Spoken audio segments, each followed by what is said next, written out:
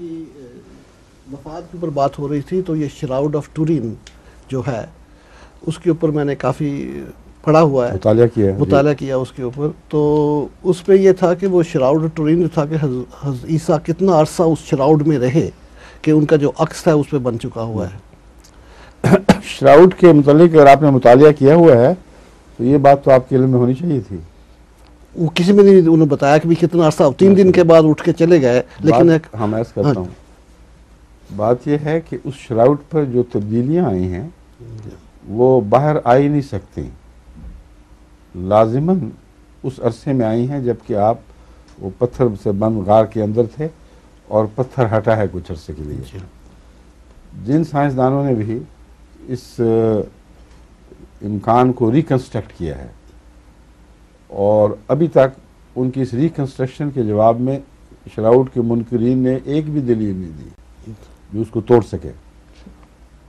हाँ बाद और बहानों से इनकार किया मसल नासा की तहकीक ने, जिसको बाकी दुनिया के साइंसदानों ने गलत करार दे दिया है और साबित किया है कि नासा की ये फाइंडिंग उसने जो ये पेश किया है तासुर, ये मुतासिब है।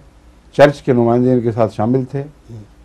उनके साथ मिली भगत के साथ इन्होंने ये काम किया है। और एक रशियन साइंस साइंटिस्ट ने कतियत से साबित किया है कि ये जो नतीजा निकाल रहे हैं मैं इस मजमून का माहिर हूँ मैं जानता हूँ कि बिल्कुल गलत है। और वजह बयान की है उसने मसलन ये कि वो कहते हैं कि ये जो कार्बन डेटिंग है इसके मतलब उन्होंने एक ये भी उज़र रखा है कि कार्बन कार्बन डेटिंग के लिहाज से ये श्राउड हज़ार से बारह सौ साल पहले से आगे नहीं बढ़ता। अच्छा। ये इस अरसे के अंदर अंदर है। इसलिए लाजमन एक बनावट है। उसने कहा है कि कार्बन डेटिंग का जो स्विंग है वो एक हज़ार साल का है। अच्छा, अच्छा। और ये इन्होंने बात छुपाई है। तो वो नहीं हो सकती कि इस आला मैार के साइंटिस्ट को इल्म ना हो कि कार्बन डेटिंग का जो स्विंग है वो हज़ार साल कम भी कर सकता है हज़ार साल ज़्यादा भी कर सकता है। तो इसका वो स्विंग जो पल्ली तरफ़ है अगर इनकी बात दुरुस्त है उसमें इन्होंने बदयांती नहीं की तो हर तीसरा से पहले निकल जाता है। और इसी तरह की और बहुत सी साजिशें हो रही हैं तुरीन श्राउट के मतलब उसके ऊपर मुकाबिल की रिसर्च हम भी करवा रहे हैं। अच्छा। और इस वक्त अहमदी साइंटिस्ट को जिनका इस मजमून से ताल्लुक है उनको मैंने लगाया हुआ है। और अच्छी अच्छी बातें इल्म में आ रही हैं। बस ये रशियन साइंटिस्ट की जो तहकीक थी ये भी हमारे एक स्कॉलर ने तहकीक के दौरान निकाली और पेश की बहुत उमदा दलील है। अब मैं उसकी तरफ़ आता हूँ। अगर वो इनकी ये बात मानी जाए तो अगली बात का ये जवाब नहीं दे सकते। वो बिल्कुल गोल करके आगे निकल जाते हैं। अगर ये मसनू है तो हमें मानना पड़ेगा कि 1200 साल पहले कोई जीनियस ऐसा था जिसको कैमरा कैमरे की नेगेटिव कॉपी का इल्म था। कि कैमरा तस्वीर खींचता है तो नेगेटिव कॉपी आती है तो मैं भी ईसा इस्लाम की नेगेटिव तस्वीर बनाऊँ। इसका कोई जवाब नहीं है इनके पास। उसको छूते भी नहीं इस बात को। क्योंकि दूसरी तरफ़ आर्टिस्ट ये दावा करते हैं जो इसके हक में है शराउड तुरीन शराउड के हक में। कहते हैं ये आज भी नामुमकिन है जबकि कैमरे की का ज़माना आकर बहुत आगे बढ़ चुका है। कि कोई आर्टिस्ट किसी की नेगेटिव तस्वीर बना दे। पॉजिटिव बना सकता है नेगेटिव शेड्स में कि जब उसको उल्टाएँगे तो बहन ही सही सूरत निकलाएगी कि कहते ये नामुमकिन है। कि हम चैलेंज करते हैं आज तक किसी ने बना के नहीं दिखाई? तो सवाल ये है कि अगर वो मसनू था तो उसका मसनू होना भी तो एक बहुत बड़ा एजाज़ है। वो कौन खुदा का अजीम शान बंदा था जिसके लिए अल्लाह ने ये एजाज़ दिखाया? उसका नाम ही मौजूद नहीं हिस्ट्री में उसका पता ही कुछ नहीं। इसलिए लाजमन हज़रत ईसा ही हैं क्योंकि तस्वीर उनकी शबी के एन मुआफ़ है जो बयान की जाती है। उन वाक़ात के एन मुआफ़ है जो बयान किए जाते हैं। मसलन उनको कांटों का ताज पहनाया गया। हाँ अब लाजमन जहाँ जहाँ कांटे थे प्रिक्स थे वहाँ वहाँ खून के कतरे निकले होंगे। और जो शुरू तुरीन श्राउड है उसमें उसी तरह खून के कतरे वहाँ। असरअंदाज हैं। फिर जो ज़ख्म हैं हाथ यहाँ के और कलाइयों के और पाँव को बांधा गया है। वो वो सारी तस्वीर उसी तरह ये उभारता है। उन लोगों ने एक शक डालने की कोशिश की कि ये हो सकता है जब एक दफ़ा जला था ये था। दो तीन दफ़ा आग लगी है और उस कफन के अंदर जहाँ बंद था। आग के असरात हैं तो हो सकता है उसकी वजह से वो ऑक्सीडेशन का प्रोसेस हुआ हो और जो कफन किसी के लिपटा गया है लिपटा गया है उसमें पसीना भी है जज्ब हो गया है यूरिया उसके अंदर मौजूद है उसके ऊपर आग के असरात से उसमें एक रंग सा पैदा हो गया हो तो उसका जवाब भी देते हैं अव्वल तो ये ख्याल कि ये वाक़ बाद में हुआ और पहले उसको मुकदस शराउन के शराउट के तौर पर एहतियातन रख लिया गया था। कैसी लगभ बात है। यानी आग का हादसा तो इतफाकन हुआ है और बाद में हुआ है। बाद में हुआ, हाँ। और इस कपड़े पर हुआ है जिसको हज़रत ईसा की तस्वीर लिया हुआ कपड़ा बताते थे। हाँ, तो और भी बहुत से दलायल हैं। जिस पहलू से भी आप आए इनका झूठ खुल जाता कि ये हो ही नहीं सकता। और बहुत से उन्होंने उज़र रखे।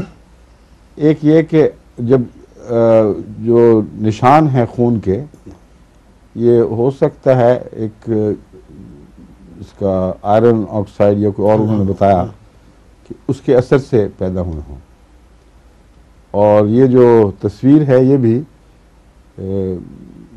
किसी आर्टिस्ट ने ऐसी तरीक से बनाई हो कि उसके बाद फिर आग वगैरह की वजह से उसको ऐसी पुख्तगी आ गई हो कि उसका ट्रेस करना कि ये जिंक है और ये फलाम एलिमेंट है ये मुश्किल हो गया। है इसके जवाब में सबसे पहली बात जो बहुत ही गैर मामूली ताकतवर है वो ये है कि इस तस्वीर में एक मॉलिक्यूल की भी डेप्थ नहीं है। नहीं हाँ, ठीक है अच्छा। जो सिर्फ़ अक्कासी से हो सकती है। एग्जैक्टली इम्प्रेशन है। रोशनी जिस सतह पर पड़ती है वही फोटोसिंथेसिस के ज़रिए असरअंदाज होती है मुख्तलिफ़ चीज़ों पर। मतलब पत्तों पर असरअंदाज होकर उसको कुछ और बनाती है, दूसरी केमिकल्स पे और तरह असरअंदाज होती है। तो ये जो तस्वीर बनी है, अगर ये रोशनी से बनी है तो ये सिर्फ़ सतह पर, कपड़े की सतह पर होनी चाहिए, उसमें कोई गहरा नहीं होनी चाहिए। तजर्बा करने वालों ने नहायत लताफत के साथ तजर्बा करके देखा। ऐसे एलिमेंट्स जो ज़्यादा पेनिट्रेट नहीं करते, उनसे तस्वीरें बना के देखी। नामुमकिन है कि वो एलिमेंट बीच में डूब ना जाए जिससे तस्वीर बनाई जा रही हो। कपड़े के अंदर तक उतरता है। खुश्क से खुश्क हो तब भी वो लाखों करोड़ों मालिक्यूल्स की मोटाई में नीचे उतर जाता है।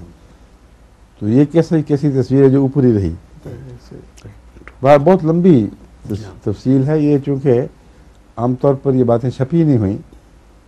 और इसलिए मैंने आपको बताया कि मुताले में आपके नहीं आएँगी क्योंकि हम अहमदी नुक़ निगाह से जो इस्लाम की नुमाइंदगी कर रहा है इस बात को साबित कर रहा है कि ये दुरुस्त है और कतई गवाही है इस बात की कि हज़रत इस्लाम उस उसके बाद सलीब के बाद ज़िंदा रहे हैं और सलीब पर जान नहीं दी। ये इस वजह से हम इसके लिए कोशां हैं और दलीलें ढूंढ रहे हैं।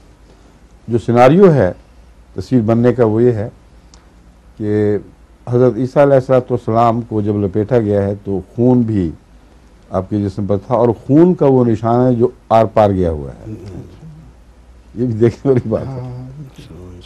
बाकी तस्वीर का नहीं है खून के धब्बे जो हैं, वो आर पार गए हुए उस वक्त दो इम्कान थे। एक तो ये कि ये जब हज़रत ईसा अलैहिस्सलाम अभी ज़िंदा थे तो उस वक्त उनके ऊपर ये कपड़ा लपेटा गया। एक ये कि सलीब पर उतारते वक्त उनका कपड़ा सलीब पर उतारने के बाद जब मर चुके थे, फिर ये कपड़ा लपेटा गया। जो मुखालफिन हैं, वो ये मानते हैं, दूसरा इम्कान। अगर बाद में लपेटा गया हो तो आप लेटे हुए थे। लेटे हुए आपके खून नहीं निकलना चाहिए था। क्योंकि आप उस वक्त इनके बयान के बाद मर चुके थे। इसलिए जो जख्म के धब्बे हैं उससे ज़्यादा निशान कपड़े पे नहीं पड़ना चाहिए बिल्कुल सही बात है। ठीक है? बात कहते हैं पहले लपेट दिया गया हो जब अभी ज़िंदा हों और फिर मर गए हों अव्वल तो जितनी बाइबल की गवाहियाँ वो इसके खिलाफ हैं। लेकिन उस सूरत में फिर खड़े खड़े अगर लपेटा गया हो तो खून नीचे की तरफ़ जाना चाहिए। इर्द गिर्द उसको एक छोटा सा फूल सा नहीं बनाना चाहिए। लेकिन ये जो तस्वीर है, इस पर जो खून है, वो एक ऐसे लेटे हुए आदमी की है, जिसकी हाथों, जिसके हाथों से खून बहकर उसके इर्द गिर्द चारों तरफ़ जख्म के बराबर फैल रहा था जिससे कति तौर पर साबित होता है कि लेटी हुई हालत में ये खून बहा है और उस वक्त आप ज़िंदा थे।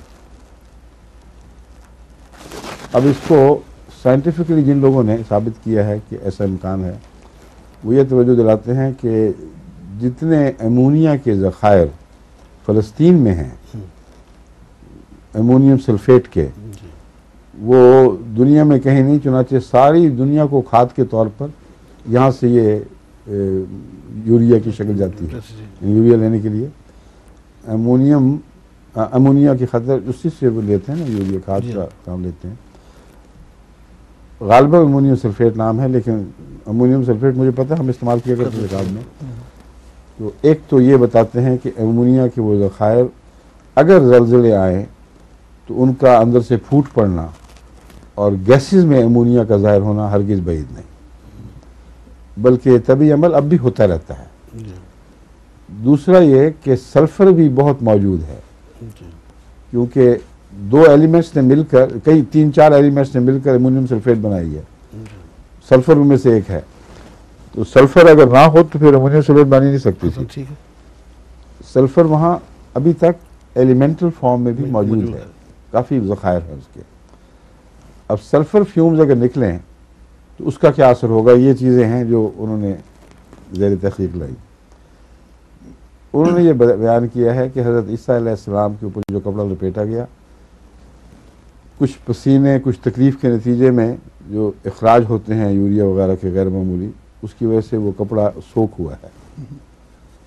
और तैयार था वो कि अगर उस पर ऐसे कीमिया का असर हो जो फ़ोटो सेंसिटिव है तो वो तस्वीर खींचने की अहलियत रखे।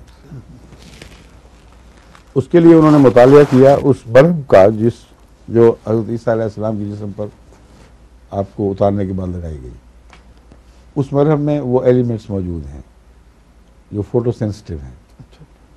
और गालबन मर के मुतलिक कहते हैं या किसी और दवा के मुतलिक वो पूरी तहकीक इनके जो केमिस्ट की ज़ुबान में मौजूद है उसका इनकार नहीं कर सकते कि वाक़ता ये दुरुस्त है।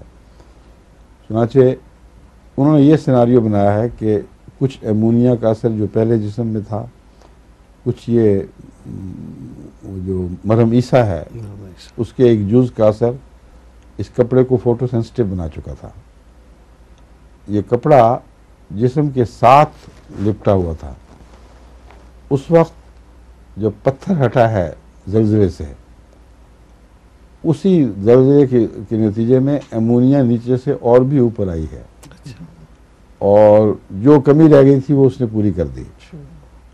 और फिर रोशनी जो बाहर से आई है वो स्लो पिक्चर प्रोसेस पैदा करने वाली थी। जितनी देर पत्थर हटा रहा वो रोशनी सिम सिम के अंदर जाती रही और उसने जो हिस्सा बदन के साथ था उस पर तस्वीर बनाई। क्योंकि मरम बदन के साथ लगी हुई थी। और रोशनी ने पेनिट्रेट करके उसे मुतासर किया। उसके बाद अगर सल्फ़र आ जाए तो उसको स्टेबलाइज कर देती है जिस तरह फिक्सर का काम लेते हैं ना डेवलप करने वाले फ़िल्म तो उस सल्फ़र ने उसको फिक्सर का काम किया फिर और फिर जब बाहर निकले हैं उसी कपड़े में तो उसमें तब्दीली के इम्कान ख़त्म हो चुके थे। यह है सिनारियो ज़ुबान के लिहाज से यानी केमिकल टर्म्स के लिहाज से क्योंकि बहुत देर हुई पड़े हुए मुझे एग्जैक्ट अब याद नहीं लेकिन नाम कीमिया के जो भी हों ये अमल इस तरीक पर होना साबित है कि इम्कान है और मैंने किसी किताब में इस सिनारियो को गलत करार देते हुए किसी को नहीं देखा। कि साइंटिफिकली ये गलत है हो ही नहीं सकता। जबकि दूसरे फरीक साइंसी लिहाज से इनके सिनारियोज को गलत साबित कर देते हैं। ये कपड़ा उसके बाद जब आप बाहर निकलें तो हमेशा नहीं पहना आपने। लाजमन उतारा गया और उसको तवर्रक के तौर पर महफूज किया गया। है वो जब सलीबी जंगें हुई हैं तो एक इस्लामी हुकूमत ने जब कब्ज़ा किया है इनके उप- इनके टेरिटरीज पे, वहाँ ये बख्श में उनके हाथ आ गया। और बाद में इटली के या फ्रांस के गालबन एक लॉर्ड ने इसके तकदस की वजह से कैदियों के तबादले में ये कपड़ा लिया है जंग में तो शीशा होता है तो एक वक्त में मुसलमान कैदी आ गए थे इधर ज़्यादा। तो उनको छुड़ाने के लिए उन्होंने कहा, ठीक है, तुम कपड़ा ले लो और हमारे कैदी छोड़ दो। वो फिर इटली में मुंतकिल हुआ है। नवाब ने वहाँ की शर्त खरीदा उनसे। उसकी तफसीर में इल्म नहीं, मगर उस वक्त से फिर ये तुरीन में है। तो जो भी ये कोशिश कर लें, उस कपड़े के जाली होने को बहरहाल साबित नहीं कर सकते। अगर जाली होने को साबित करेंगे तो फिर उस एजाज की तफसील बयान करनी पड़ेगी कि एक नेगेटिव तस्वीर कैसे बना दी किसी ने। ठीक है?